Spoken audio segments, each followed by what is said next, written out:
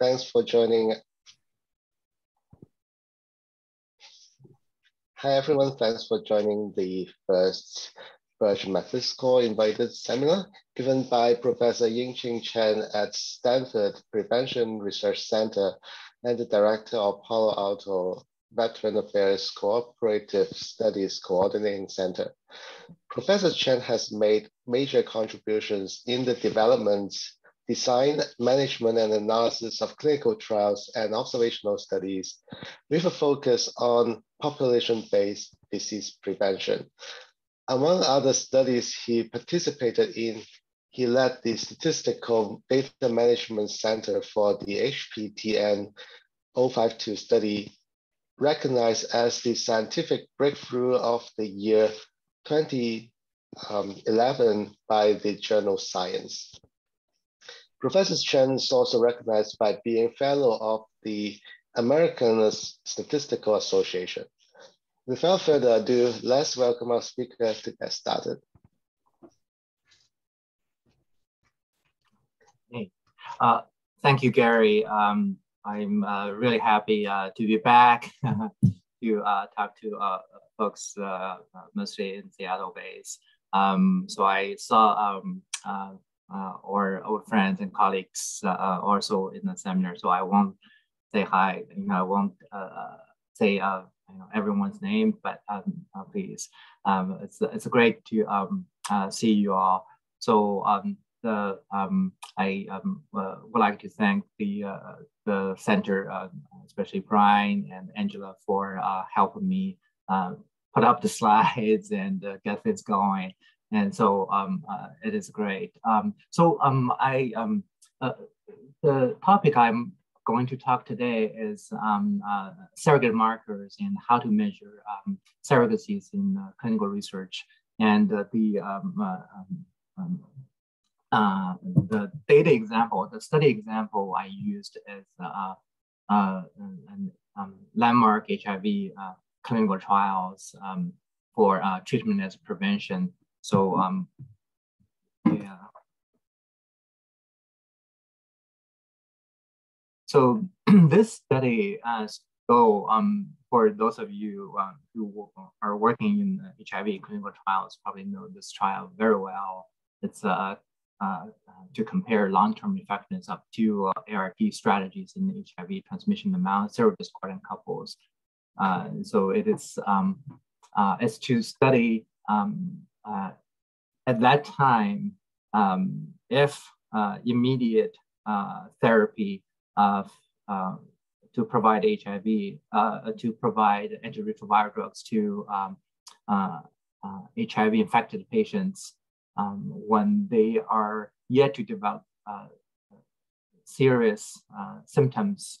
And if um, early therapy or immediate therapy can help prevent um, HIV transmission from HIV infected partners to uh, uh, their uh, loved ones uh, who are HIV uh, sero negative at that moment.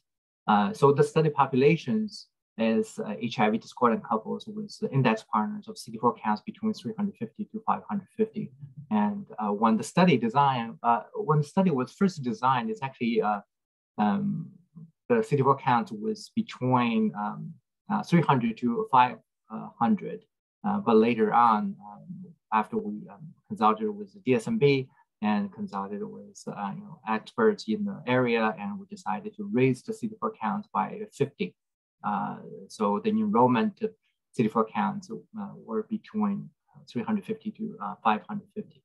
And this, there are two treatment uh, strategies. One is the immediate therapy. So uh, is the uh, ART initiation upon enrollment. So which means as soon as uh, um, the index partners uh, got screened and enrolled, they are they were starting ART at the enrollment.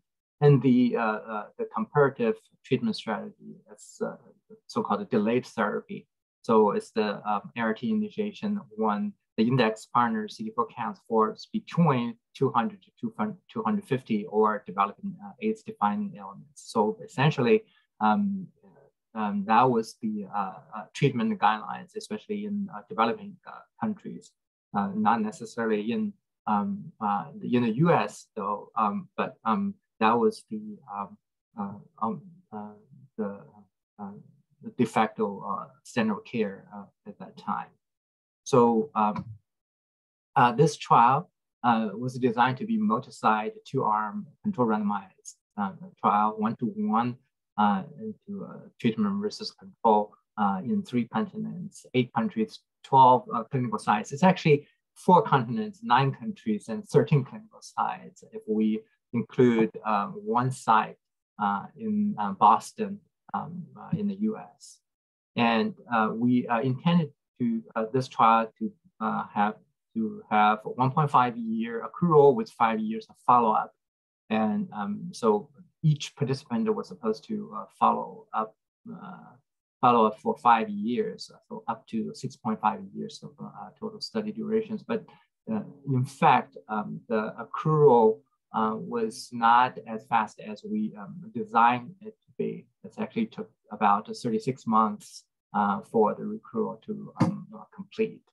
So the total was uh, close to 10 or uh, 11 years uh, if we um, count the study running period um, with about 80 some participants enrolled for the running period. So the primary endpoint for this study is the incident HIV infection occurred in the uh, partners of randomized HIV infected uh, um, index cases. And we only account um, supposedly in the primary analysis, uh, only a position from the index partners will be included. Uh, so each endpoint will need to be confirmed such that the viral envelope sequence in the index case matches that of the uh, partners. So uh, we want to make sure that um, uh, if an infection happened we can confirm uh, that infection uh, is, is actually uh, linked between, um, was linked between the HIV positive partner and negative partner who later got, um, um, who later become seropositive. So this the study population of this trial uh, uh, is mainly in um, Africa with uh, 954 uh, couples uh, recruited from Africa. Uh, in Asia, we have um, 531 couples. In America, so we have 278 couples. but we, if I remember right, there was only one couple from the US side.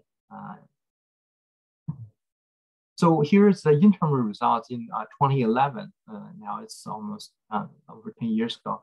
Um, so the it's the results was um, uh, were uh, very striking. And um, the, if we uh, look, if we were looking at um, linked transmissions in the immediate arm, we had one uh, uh, transmissions in the delayed arm. We have 27 uh, transmissions observed. So the hazard ratio is estimated to be 0.037. The efficacy is measured, essentially efficacy is a one minus hazard ratio, so 96%.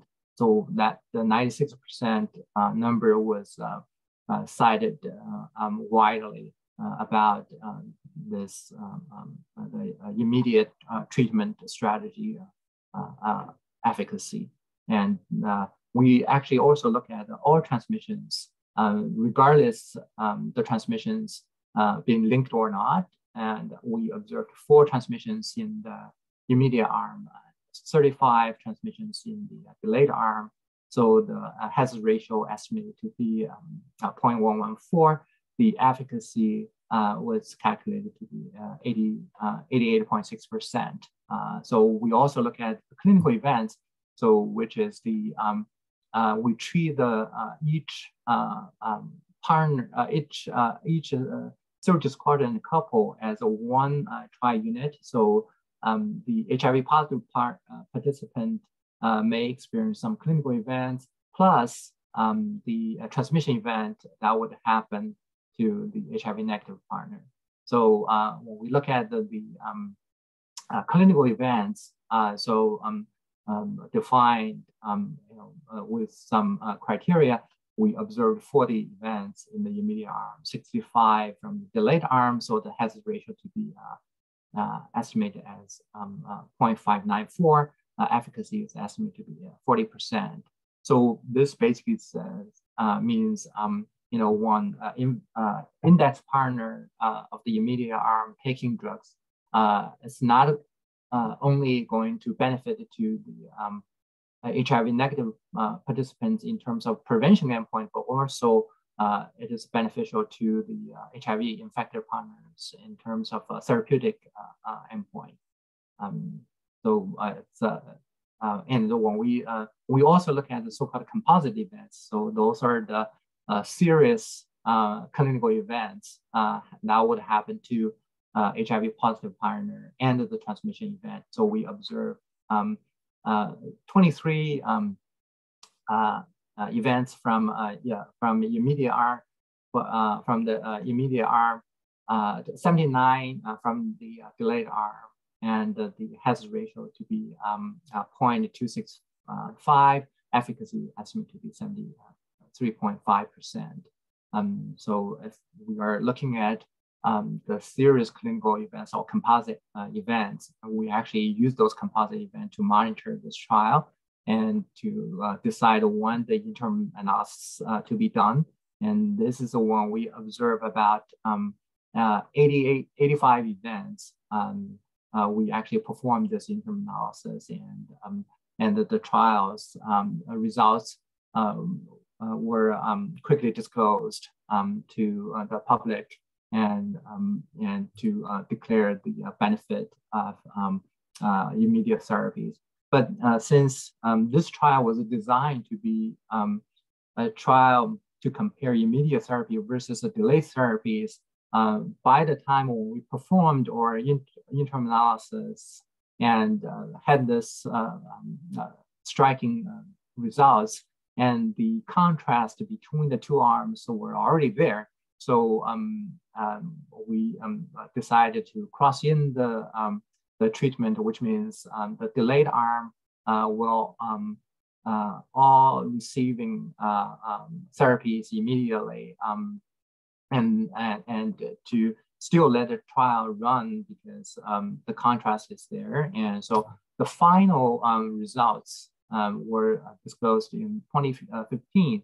Um, so um, uh, after uh, May 11th or after the first interim analysis, um, so we observed HIV um, infected events in the delayed arm to be 15, and in the delayed in the early arm to be 15, in the delayed arm to be 17, so it's comparable because those events are uh, accumulated already happened before. Most of those events, uh, you know, happened probably during um, the uh, crossing period. And uh, so um, if you look at the linked, it's two versus seven.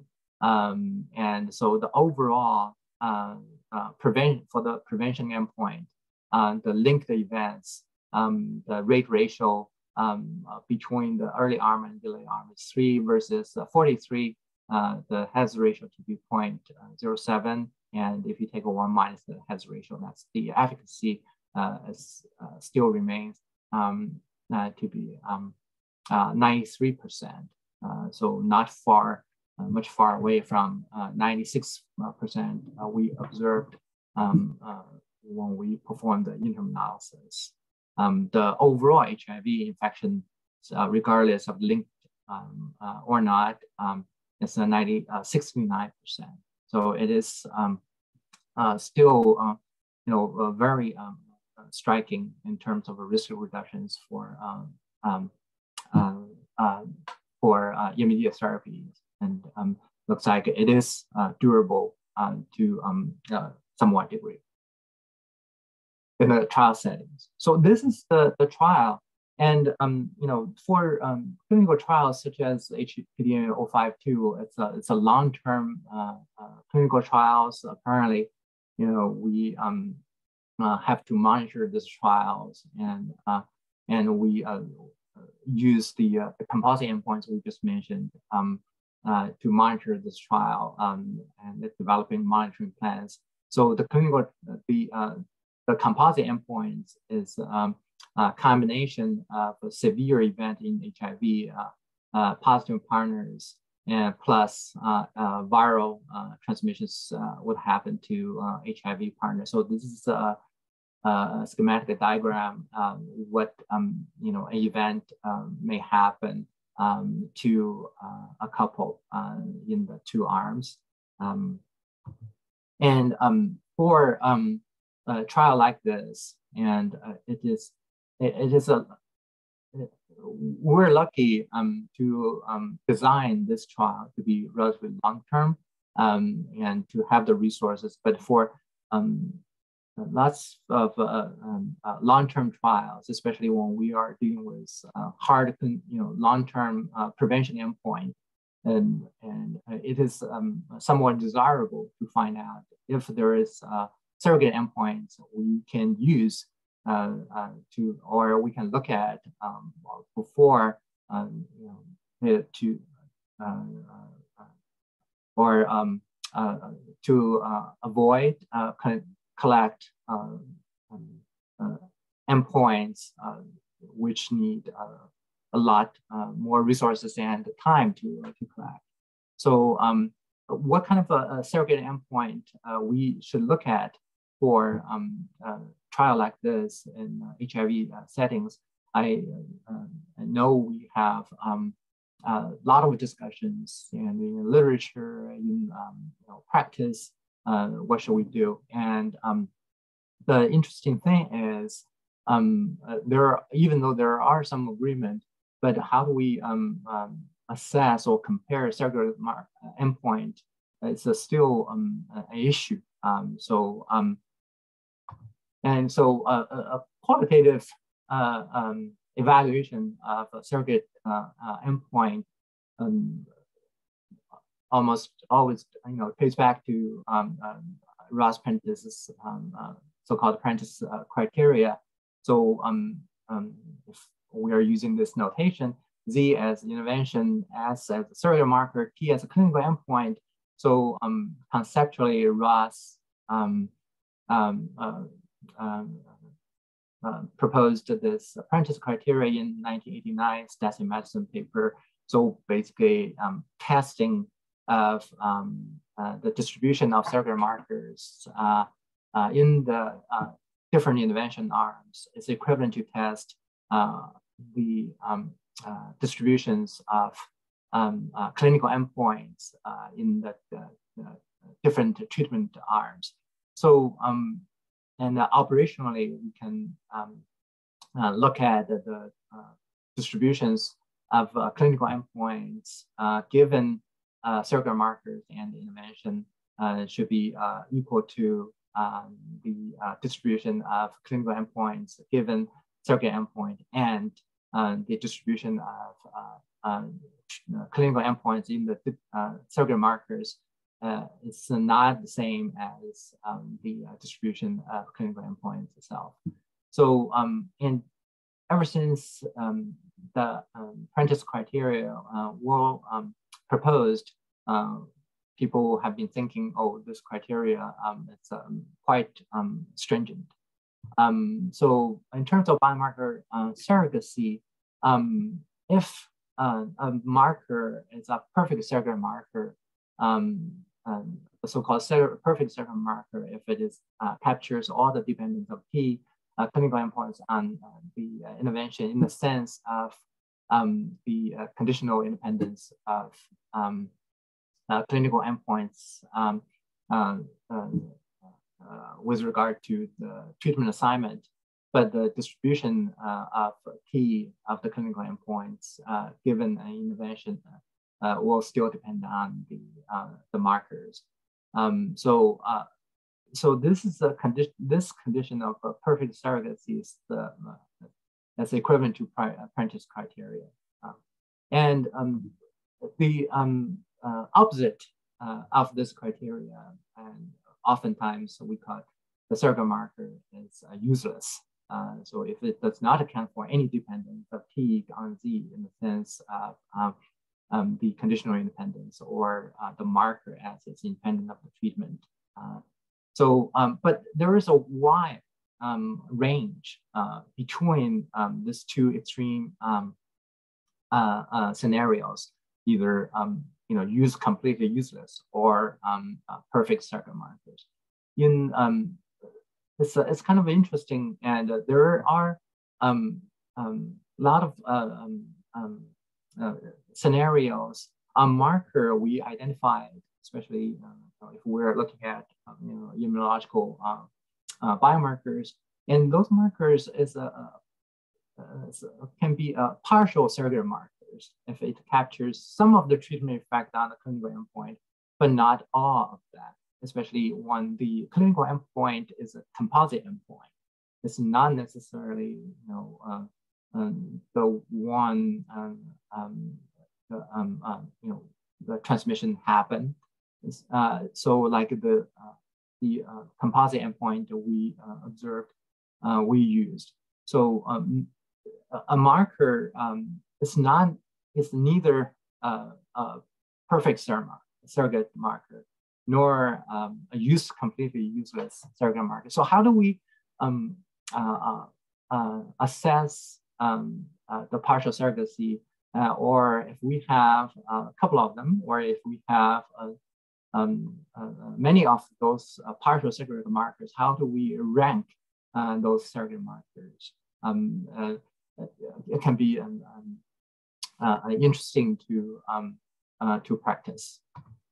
So um, let's get back to uh, qualitative evaluation using Prentice criteria. So operationally, if we are looking at the distribution of clinical endpoints given surrogate markers and intervention, if it is equal to uh, prevention, uh, the distribution of uh, clinical endpoints given surrogate markers, essentially this is uh, somewhat um, uh, adjusted outcomes by S, right? So, um, so basically we stratify um, the, uh, the surrogate marker distributions and we look at the uh, uh, conditional uh, distribution of clinical endpoints in the interventions in that stratum and we, if we can um, evaluate if they're equal or not. So um, the this kind of adjusted uh, idea um, uh, prompts people uh, to think about um, you know, how to measure surrogacies of surrogate markers. And one leading one is the so-called PTE, it's the, um, it's, it's the proportion of treatment effect explained. Um, for example, in the binary, for the binary outcomes, people would um, uh, propose would use uh, two logistical models. Um, logistical regression models. So one with intervention only, the other one with intervention plus surrogate markers. And then, um, you know, to fit the two models and uh, get the regression parameter, uh, parameter estimates, say beta uh, in the model with intervention only, uh, or um, uh, beta S uh, and phi Z uh, in the uh, model with both intervention and surrogate markers, and then uh, take the difference um, between the two regression parameter estimates and divided by the um, beta, uh, the uh, regression parameter estimate from the uh, intervention only model. And then that's called, it's a, this kind of a, a difference, um, um percentage of difference um, with respect to the um, the regression parameter uh, estimated from the, uh, the intervention only uh, logistic regression models. So um, basically it is to compare um, unadjusted and adjusted model by surrogate marker distributions regardless the underlying uh, biological mechanism in subgroups. So this kind of approach essentially measures population impact associated with a candidate surrogate markers.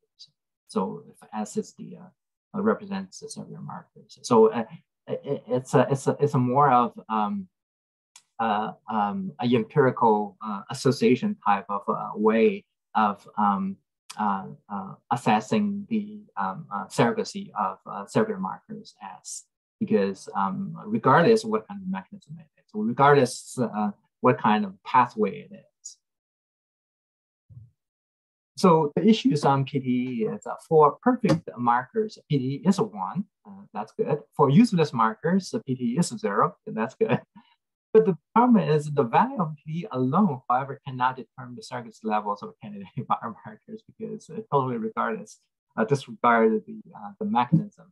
Um, the PTE close to one implies that good surrogate markers only if it is known uh, that the intervention effect is primarily uh, mediated by marker. But a PTE, PTE close to one may also happen when intervention has harmful or toxic uh, effects that are not mediated via the, biomarker.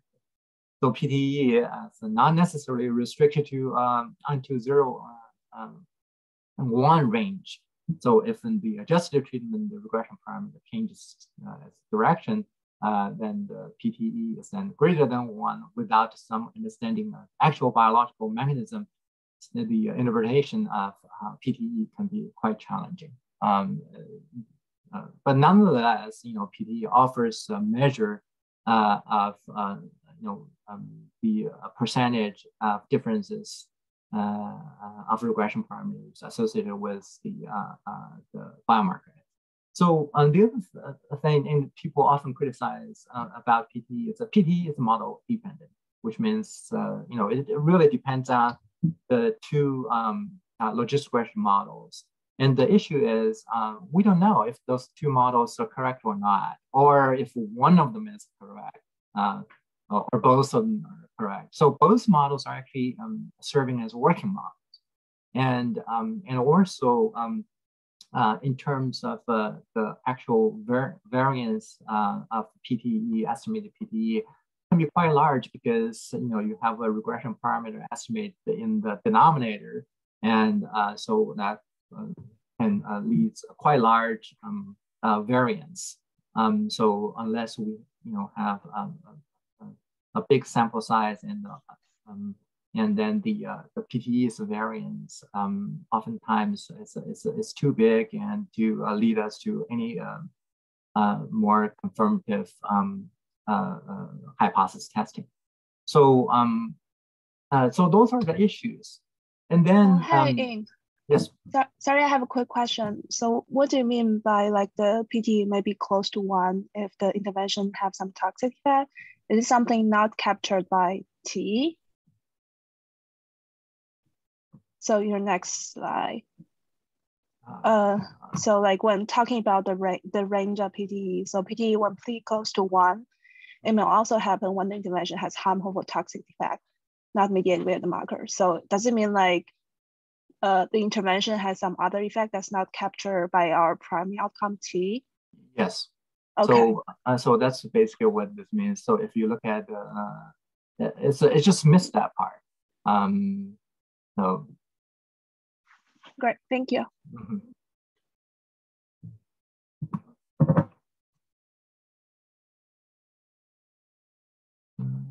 Okay, so those are the issues. Um, thanks for the questions, uh, Faye. So um, uh, the um, uh, the um, uh, second approach, so people um, trying to um, uh, still use adjusted approach, but uh, using a model-free kind of uh, approach. So not necessarily rely on the um, the two logistic regression models. Uh, um, you know, people tend to use in the PTE um, uh, to calculate the PTE.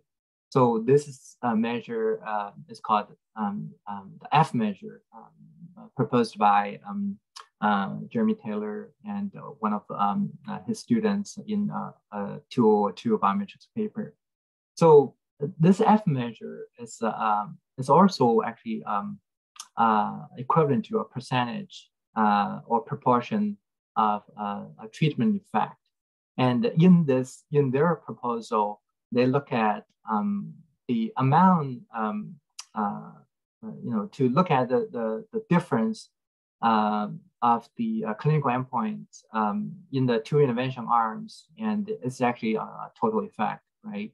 And the, the treatment effect in, on the uh, additive scales, uh, the difference of these two um, uh, distributions, and then to look at uh, what if uh, we will be using um, instead of um, you know um, what if we are going to apply the um, uh, conditional uh, uh, distributions of clinical endpoints uh, given a surrogate marker in the uh, intervention arm, but uh, um, to the surrogate marker distributions in the control arm.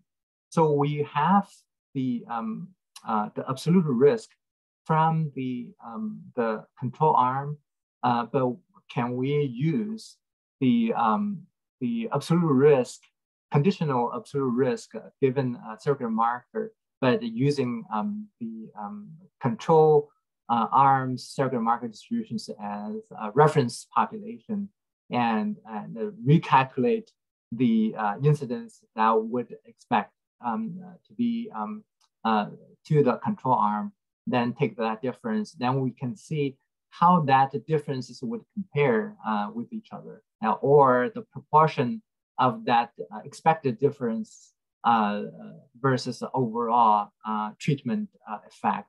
And they call called adjusted treatment effect as, um, through some kind of a, a, direct adjustment, and then take one subtract of that.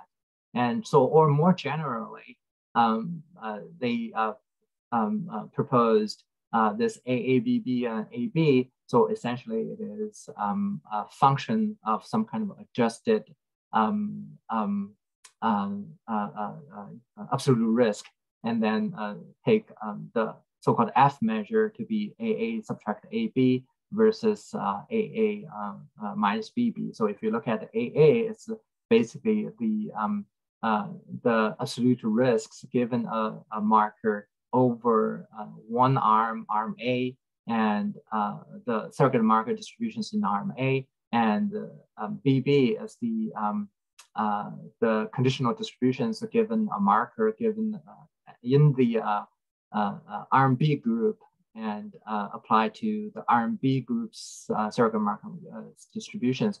But AB is just like a more like a, cross over uh, using a uh, uh, in one arm's um,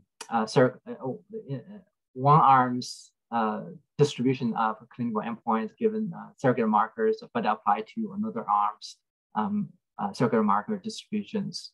so, so this is a, a more general um, uh, uh, formulation of the F measure um, uh, and Taylor proposed. So if we look at um, that uh, in the um, in this schematic plot. So let's say if we are looking at a control arm, um, what we observe is uh, we basically uh, stratify um, the control arm into two groups, into uh, marker groups versus uh, you know the groups without the marker. or the surrogate marker equals one, or the other surrogate marker equals zero for binary surrogate marker. And we have the two distributions, so we can use total probability to calculate the probability of, or the distribution of uh, uh, clinical events uh, in the control arm.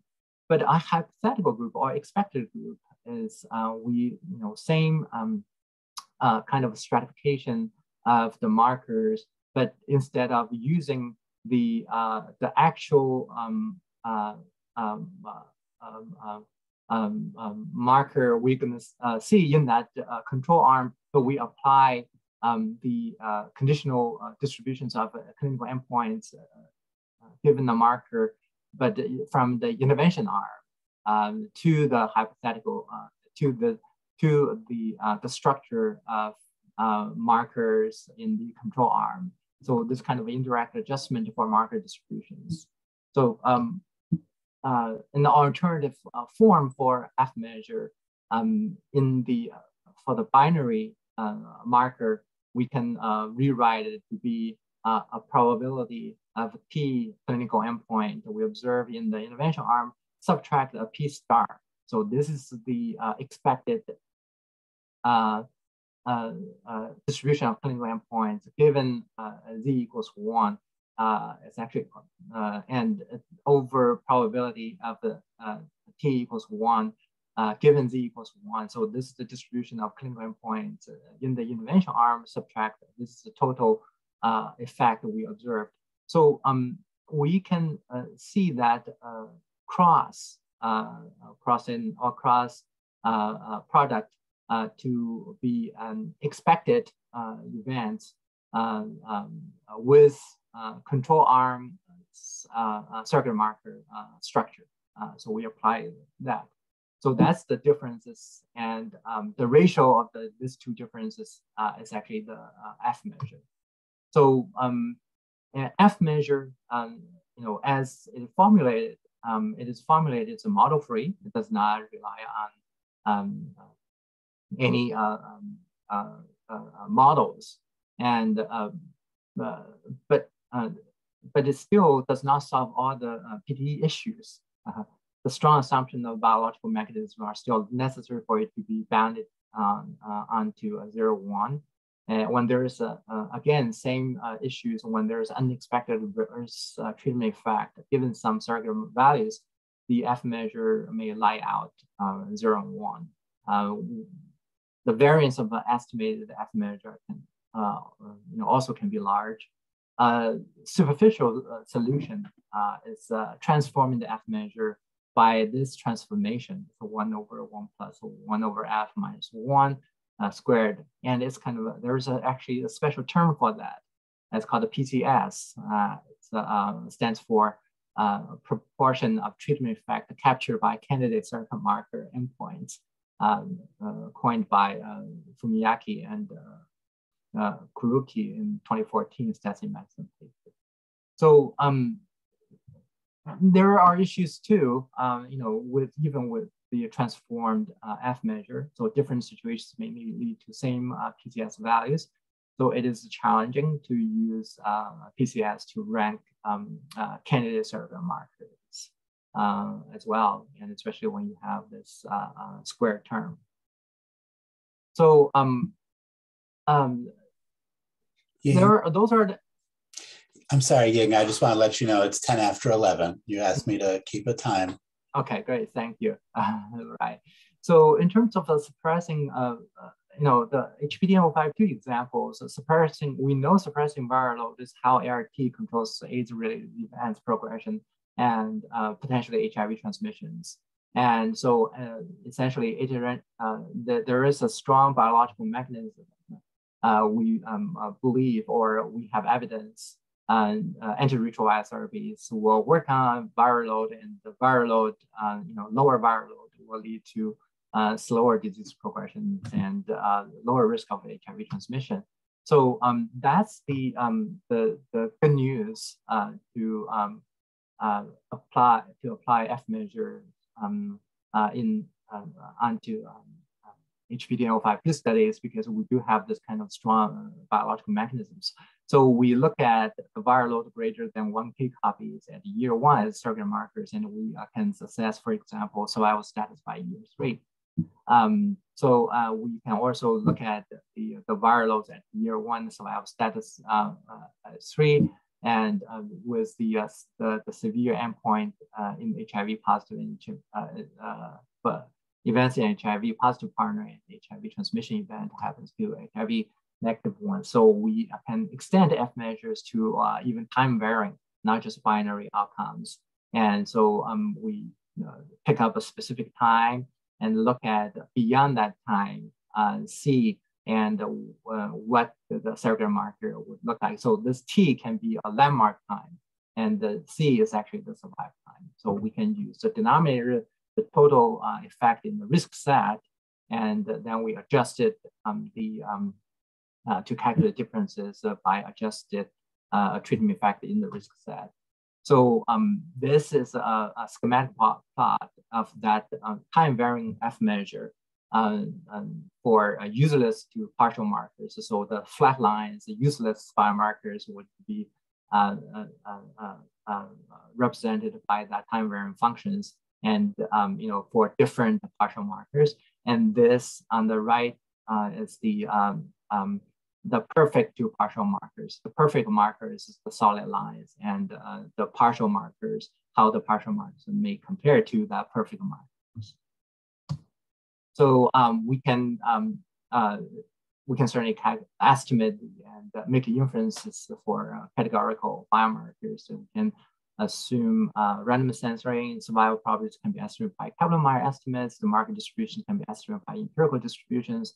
And then we um, um, worked out all the technical details uh, to uh, calculate the, the um, uh, for this time varying measures. So uh, we uh, did run some simulations using Cox Weibull distributions, uh, basic Cox model uh, with the Weibull uh, underlying baseline um, uh, distribution. And we run on 20,000 subjects, so 1,000 replicate simulations. So when you look at the coverage probabilities, it's um, um, works pretty well at, um, for different scenarios. Uh, so for the F measure in the, for the HPTN 052 studies, so we um, uh, uh, so this is a table on, um, uh, to show um, at a different landmark time, uh, year two, three, four, five, six, seven, and in the delayed arm, what is going on in the delayed arm, what's going on in the immediate arm in terms of uh, the prevalence of viral loads more than 1,000 copies among HIV infected partners and how the F measure would be uh, calculated. So for year two, it's um, uh, 0.18, uh, year three, 0.41, uh, year um, four is 0.52, year uh, five is 0.72, year six, 1.12, and year seven is 0.812. And, and it looks like the um, surrogacy is as time progresses and the, uh, the, um, the, the uh, viral copies more than 1,000 uh, among HIV infected partners, uh, uh, getting better, better close to the clinical endpoints, you know, as you can imagine? So it's not surprising. Um, and, and, and, you know, still, you know, um, because the, uh, uh, get to the end of the study, so we have less number of events, uh, clinical events uh, to be packaged. So the range of the confidence will become big, and also we have this auto range value of uh, you know even more than one. So um, so that is the um, uh, the um, um, the um, one extension we did using F measure, but extended to the time varying uh, uh, scenario. So with uh, multiple landmark time. And the other thing is we um, want to understand uh, what is the um, what is really a F measure really um, doing. So if we can recall F measure, the numerator basically is the difference of uh, what we observed uh, and what we expected. Um, using control arm, as the, um, uh, the reference group.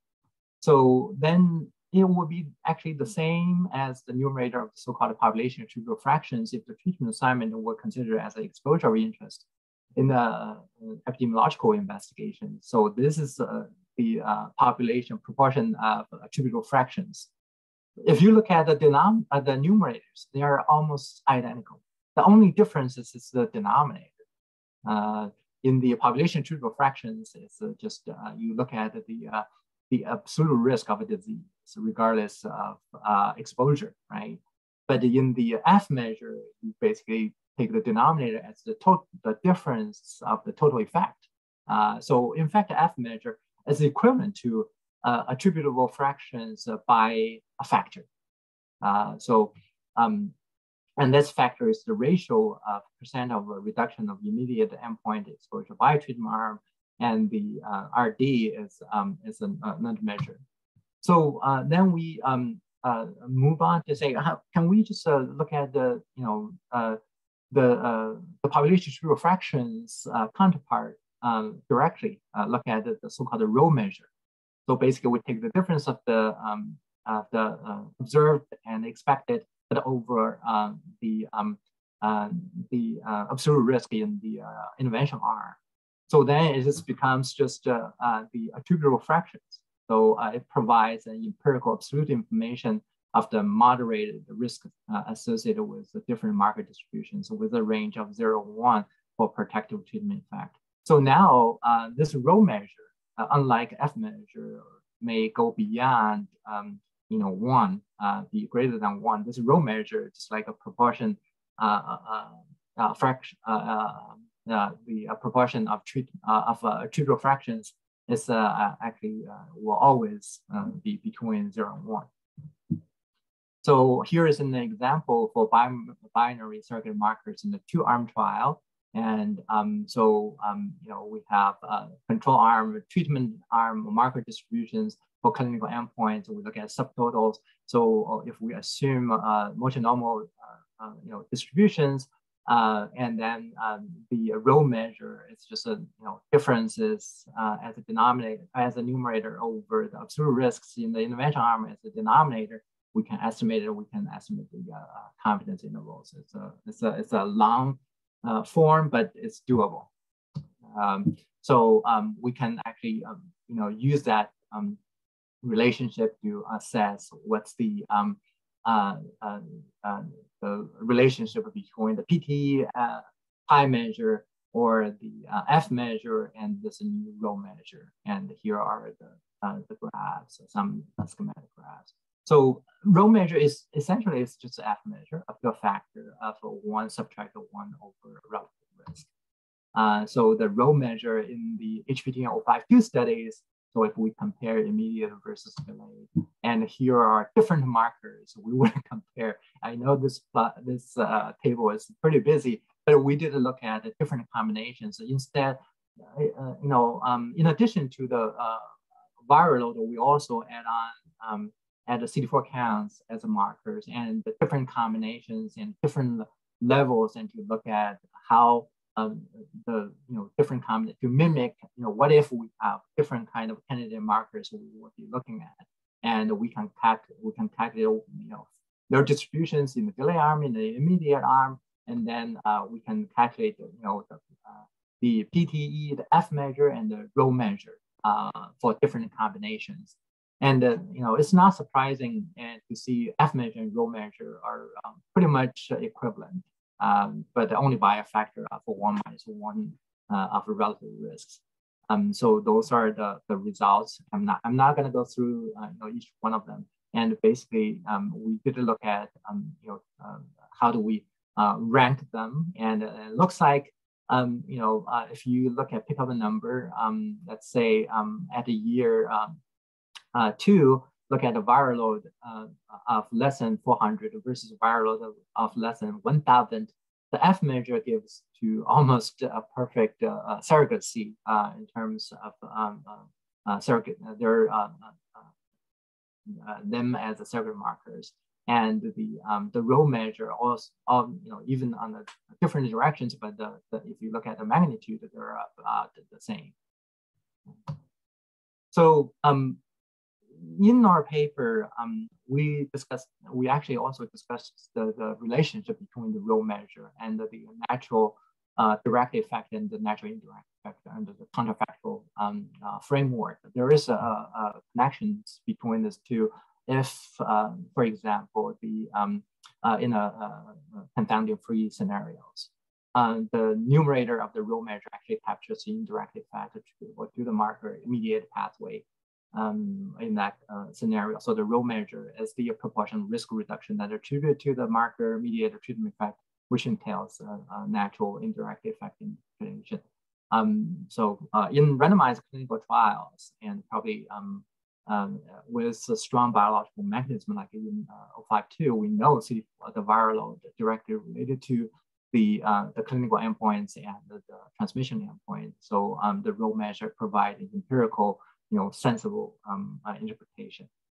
So, uh, you know, for biomarker surrogacy um, uh, assessment, uh, there are other approaches as well. You know, um, there are meta-analytic approaches, there are causal effect approaches.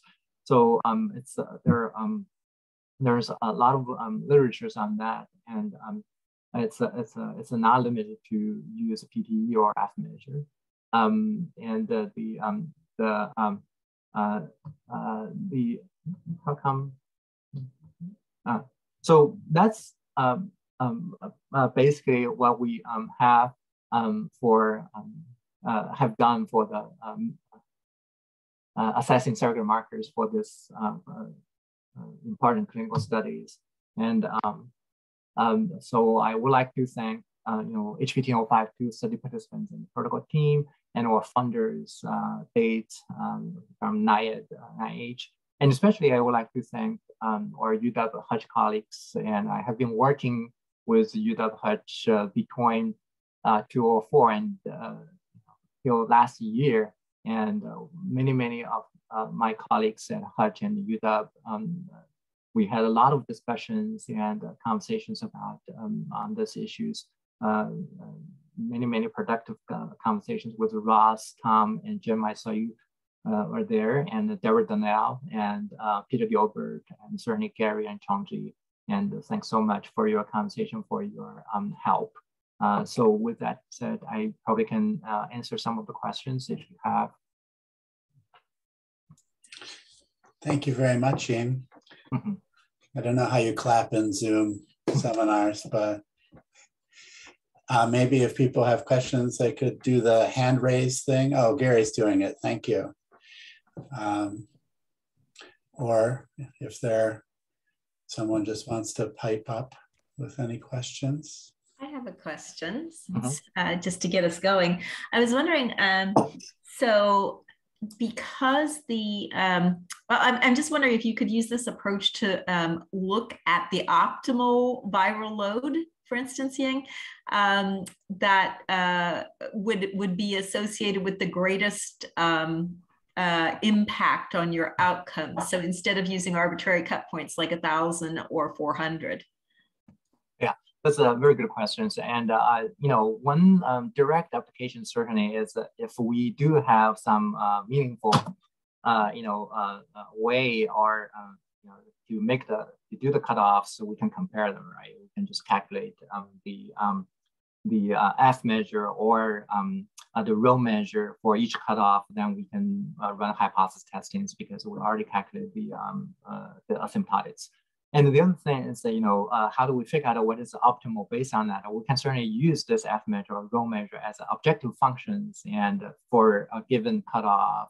And then we can, you know, optimize the with, uh, with uh, respect to the cutoff.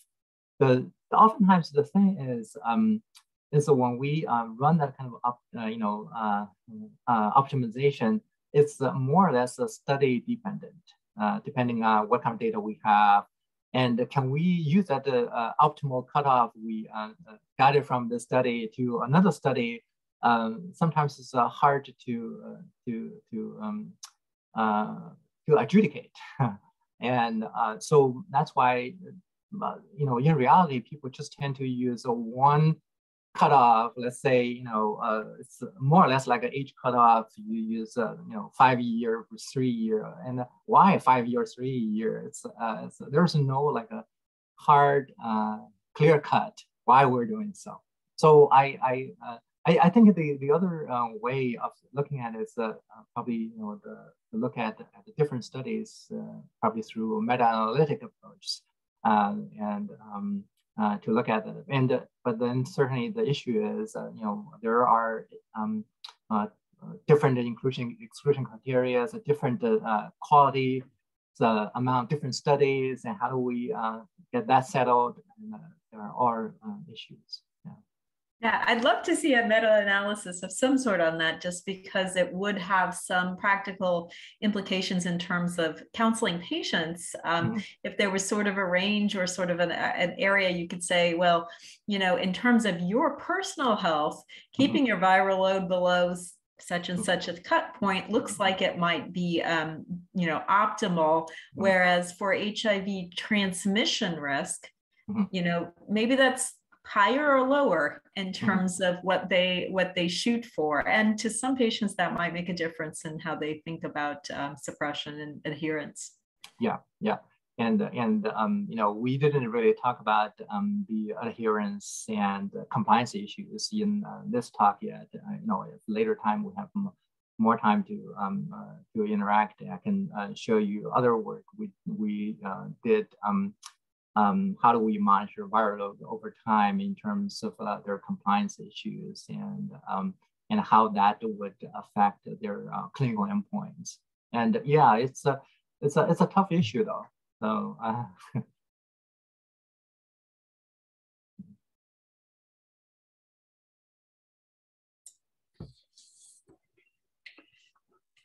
Any other questions?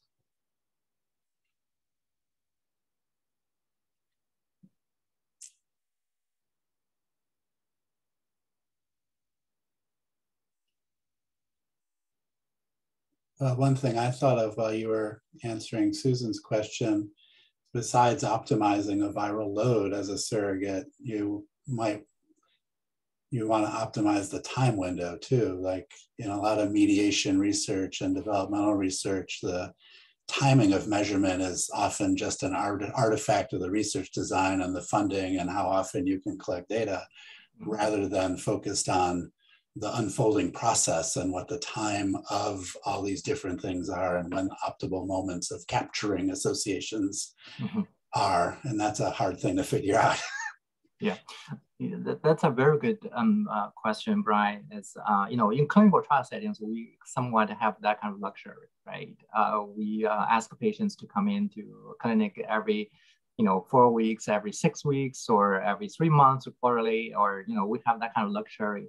In the pure observational settings, uh, not necessarily we can have that kind of luxury, and so the timing of uh, of doing that can be quite challenging. Um, yeah, and it is um, it's a it's a you know surrogate marker uh, has been uh, there, and the statisticians have dedicated so much time and effort to trying to study it, you know, via all kinds of approaches, um, uh, you know, or um, you know, structural equation models, and to uh, run joint modelings, and it has been uh, quite sticky, um, and even today it's uh, still hard. And in HIV prevention trials, and I believe you know uh, the uh, hard clinical endpoint of transmission is still the gold standard. You know, people would like to do that. It's just, uh, you know, um, and and and uh, and somewhat lucky. Um, we um, uh, know very well in the treatment as prevention settings. We know the viral load is, is the key issues. So um, so um, but for in other settings, um, when the, the things are not so clear, especially for example, in HIV vaccine studies, when you have you know different kind of immunological biomarkers, and we're not so sure which one really uh, can, uh, um, which one is the, the, the, the clear winner for um, uh, as a, a surrogate marker for HIV vaccines, then it is uh, it is hard. So, but at least uh, you know we want to rank um, you know, uh, those candidate markers. Um, it's, it's all about, you know, competing interests, right? So um, how do we um, uh, rank them using a uniform or consistently defined measure? I, I think, you know, it's still um, useful, helpful. Thanks.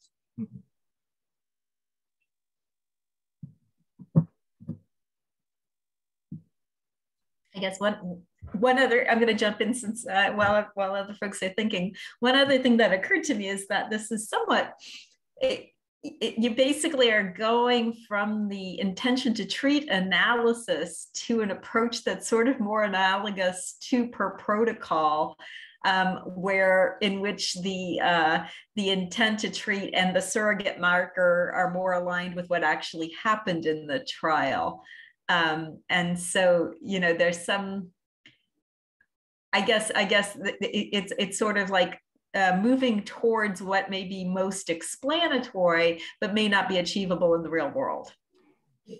Yeah, that's a that's a good way to look at it. So basically, what we are doing here, or people are lo looking at here, is uh, you know you see the difference between the intervention arm and the control arm, right? And you just want to understand what this marker, this role uh, uh, in that difference you're saying. So basically, you know, the F measure is saying, well, it's the same idea as in the uh, PTE uh, formulation, right?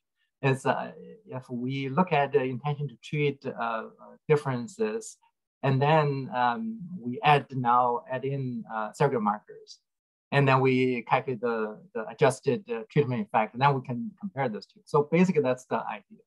So that's why the the the, the philosophy is the is the, the same. Uh, um, it's just provide an empirical measure. But the um, the the it, the, the issue is it does not really um, incorporates what's really going on with the the markers and the interventions and the clinical endpoints. So um, so I think you know to uh, really trying to understand the uh, the causal uh, relationship um, between intervention marker and uh, clinical endpoints and I think definitely more detailed modeling are needed.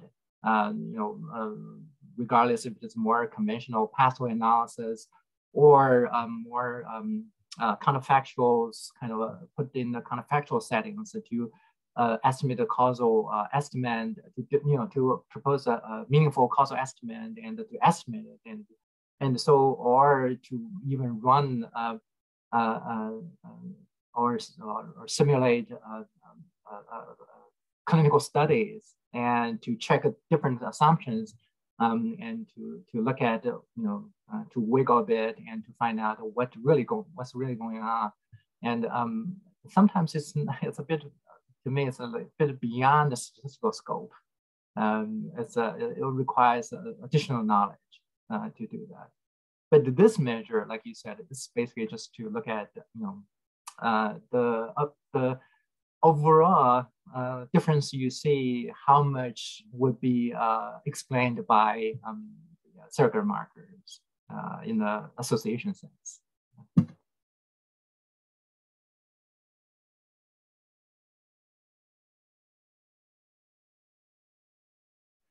it strikes me as something uh, as as we're a, the Birch Center and we're looking at mental health. Mental health is a outcome for which the causal pathways and the potential surrogate markers are much, much less clear, for instance, than HIV treatment. And, you know, the idea that, you know, this is somewhat like a mediation analysis, but, you know, just the idea that we need to try and and um, dig into the potential surrogate markers that might actually help people achieve mental health outcomes, whether biologic or scale based measures, um, I think is really an interesting area. Yeah, yeah, I, I totally agree, especially for a lot of uh, endpoints in mental health research. It's, uh, it's not uh, simple. I mean, even to look at an endpoint, it's not simple. It's a, it's a combination of a lot of things, right? And, and also, on the other hand, there is a lot of things going on uh, you know, to lead it to that uh, uh, endpoint or to lead to that uh, stat status. So trying to use one single surrogate marker in mental health research um, um, to, you know, study uh, endpoint uh, can be quite challenging. And uh, I, I totally agree with you on that. Yeah. but, you know, um, if we, let's say, if we do have um, some markers we're interested, especially for long-term studies, uh, if we do want to look at a combination of things and we want to rank them, and those measures can probably still be helpful in terms of um, you know providing some you know comparisons for us to uh, move into, right? Um, yeah. Sounds like the start of an R21. it's a it's a very interesting, right yeah, it's kind of a very interesting. Uh, the um, the um, this kind of idea is actually not new. It's a it's a it's a it's a very old uh, uh, for uh, any you know epidemiology 101 students uh, trying to learn to you know to uh, do um, uh, indirect indirect adjustment and how do we calculate expected given and then how do we assess that so essentially um, uh, how do we um, do uh, surrogate markers? And probably we'll have to dig into the very old ideas of uh, adjustment.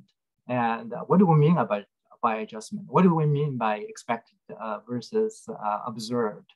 And what kind of scales we want to use? Should we use you know difference? Should we use ratios? And so how do we interpret those things? And um, it's a, uh, it's a, it's a fascinating uh, to me uh, how you know old ideas are still very useful in terms of uh, developing uh, new things.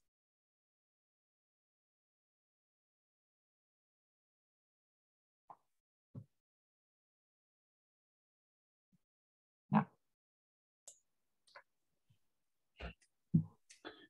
Anyone else?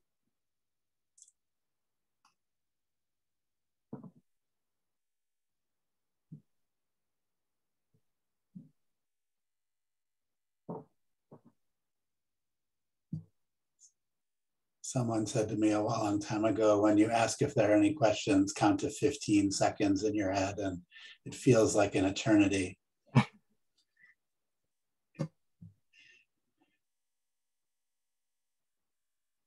That's one thing I learned from Tom Fleming is that, you know, when after that 15 seconds, you just say two words, hearing none, let's move on. which, which we can certainly do. well, thank you, Ying, very much for your Thank you, Thank you, Susan. Well, I, I hope people enjoyed this. And this is again our first Birch speaker, first seminar, and uh, there should be more coming. And uh, thank you very much again. Thank you, Ying, and thank you everyone for coming. Thank you. Bye-bye. Take care, everyone. Bye.